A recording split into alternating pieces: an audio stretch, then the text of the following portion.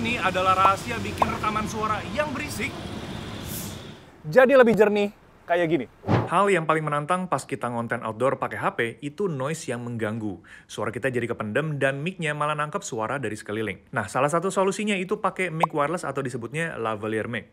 Jadi kita nggak perlu ngomong kencang-kencang ke kamera yang bikin keki karena jadi pusat perhatian.